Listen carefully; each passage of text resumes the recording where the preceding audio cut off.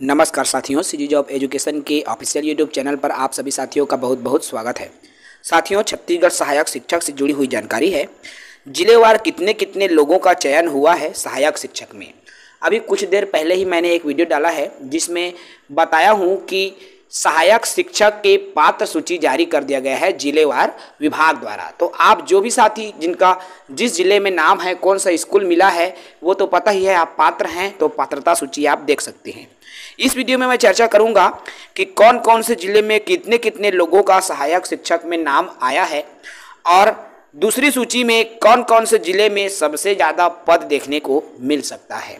मैं इन्हीं दो विषयों पर इस वीडियो में चर्चा करूँगा। तो जो साथी नए होंगे, जल्दी से हमारे यूट्यूब चैनल को सब्सक्राइब कर लेंगे। तो चलिए सीधे वीडियो पर आते हैं। जैसा कि आपको स्क्रीन पर शो हो रहा है, जिलेवार कुल चयनितों की सूची मैं साझा कर रहा हूँ इस वीडियो के माध्यम से। तो अभी वर्तमान में जिन जिन जिलों में सहायक शिक्षकों की चयन हुई है, कोरिया ज़िले की मैं बात करूँ तो कोरिया ज़िले में छियासी लोगों का चयन हुआ है। एमसीबी मनेन्द्रगढ़ ज़िले में आपका 135 लोगों का चयन हुआ है। जसपुर ज़िले में 204 लोगों का चयन हुआ है। अंबिकापुर ज़िले की बात करूँ तो अंबिकापुर ज़िले में एक सौ छियासठ लोगों का सहायक शिक्षक में नाम आया है। जगदलपुर की बात किया जाए तो जगदलपुर में सबसे ज़्यादा है 377 लोगों का चयन हुआ है। दंतेवाड़ा में 112 लोगों का चयन हुआ है। बीजापुर की बात करूँ तो बीजापुर में साथियों, आपका एक सौ तिरपन लोगों का चयन हुआ है। सुकमा ज़िले में बावन लोगों का नाम आया है। कोंडा गाँव की बात करूँ तो दूसरे स्थान पर कोंडा गाँव है सबसे ज़्यादा पद में। तीन सौ अंठावन पदों का नाम आया है। नारायणपुर में उनहत्तर पदों पर सहायक शिक्षकों को चयन दिया गया है। ऐसे ही कांकेर में कुल दो सौ चौंसठ दूसरे, तीसरे स्थान पर है जिनमें चयन हुआ है। तो इस तरह से कुल 11 जिलों का नाम विभाग द्वारा पीडीएफ के माध्यम से पात्र सूची में जारी किया गया है।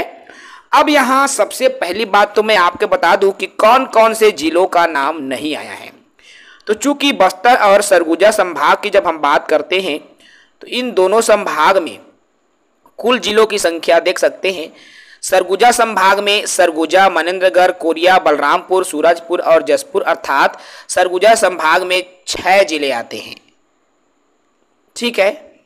ऐसे ही बात करूँ मैं बस्तर संभाग की तो बस्तर संभाग में कुल बस्तर, कोंडागांव, कांकेर, दंतेवाड़ा, नारायणपुर, सुकमा और बीजापुर अर्थात कुल सात ज़िले आते हैं। अर्थात कुल मिलाकर पंद्रह ज़िले होते हैं बस्तर और सरगुजा संभाग में। अब इन पंद्रह जिलों में ग्यारह जिलों में यहाँ पर लास्ट सूची देख सकते हो। ग्यारह जिलों में कुल पदों की बात करूँ तो कुल उन्नीस सौ छिहत्तर लोगों का चयन हुआ है। अर्थात एक छिहत्तर लोग पात्र हुए हैं, जिनको ज्वाइनिंग लेटर कल अर्थात 25 सितंबर को दिया जाना है। अब इनमें कौन से जिला छूट रहे हैं? तो देख सकते हो, एक तो सरगुजा का नाम नहीं आया। लिस्ट में, अर्थात लिस्ट में सरगुजा का नाम नहीं है। सूरजपुर का नहीं है और जसपुर का नहीं है, एक बस्तर संभाग में बस्तर का। अर्थात इन चार जिलों में नाम नहीं आया। यदि मैं मोटी मोटा यहाँ पर बात करूँ साथियों, उन्नीस सौ छिहत्तर लोग का है और यदि मैं चार जिलों की मैं बात करूँ तो मान के चलूँ यहाँ पर यदि एक हज़ार भी इन चार जिलों से हो जाते हैं तो लगभग आपका मान के चलिए तीन हज़ार। राउंड फिगर में बात करता हूँ, तीन हज़ार। तो तीन हज़ार लोगों का ही अभी प्रथम सूची में ज्वाइनिंग ले रहे हैं मान के चलिए, ठीक है? तो लगभग आपका मान के चलो, तीन हज़ार मतलब फिफ्टी परसेंट लोगों का ही प्रथम सूची में नाम आया है मान के चलिए, जिनका अभी वाले सूची में ज्वाइनिंग होगा। अब यहाँ बात ये निकल कर आती है कि दूसरी सूची जो जारी किया है, उसमें कौन कौन से ज़िले में ज़्यादा पद आ सकते हैं। तो मैं आपको बता दूँ साथियों यहाँ आपका नारायणपुर जिला है, जहाँ आपको ज़्यादा पद देखने को मिल सकता है। सुकमा में आपको ज़्यादा पद देखने को मिल सकता है, क्योंकि सुकमा जिला संवेदनशील होने की वजह से कई सारे साथी जाना नहीं चाहते। बीजापुर में भी आपका देखने को मिल सकता है, ज़्यादा पोस्ट, दंतेवाड़ा में भी आपको यही पोस्ट देखने को मिलेगा।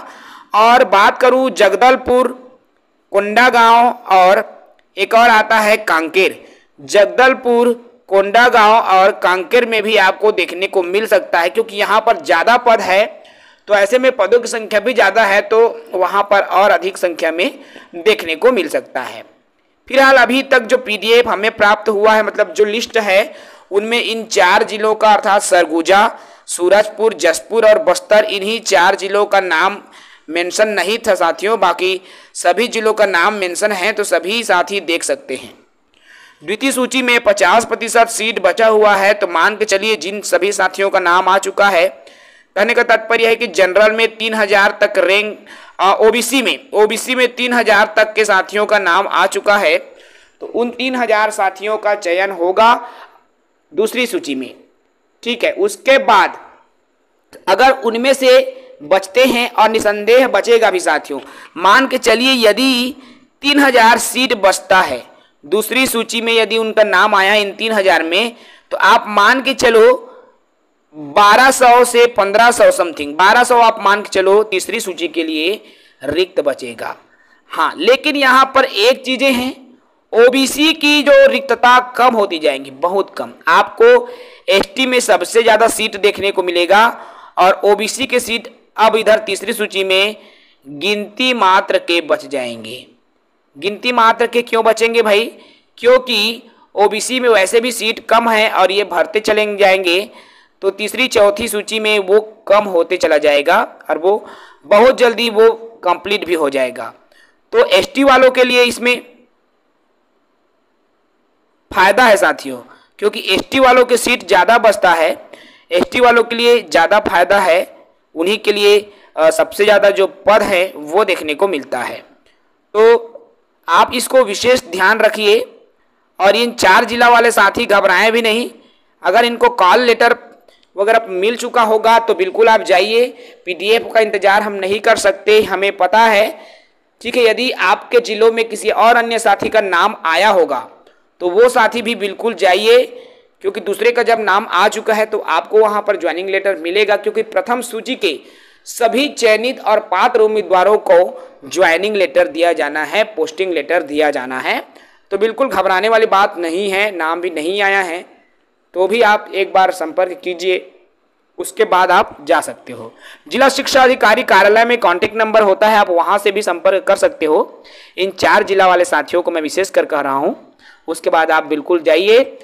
अगर आपका नाम वहाँ पर आता है तो बिल्कुल आप सभी को भी मिलेगा। इस चैनल के माध्यम से सभी चयनित साथियों को कल के लिए दिल से शुभकामनाएँ साथियों। सभी जल्दी से ज्वाइनिंग लीजिए और हमारे साथ शिक्षा विभाग में आप भी आइए। राष्ट्र के निर्माण में, राष्ट्र की प्रगति में हम, आप और हम सब मिलकर एक साथ कुछ अच्छा करेंगे। जय हिंद, वंदे मातरम।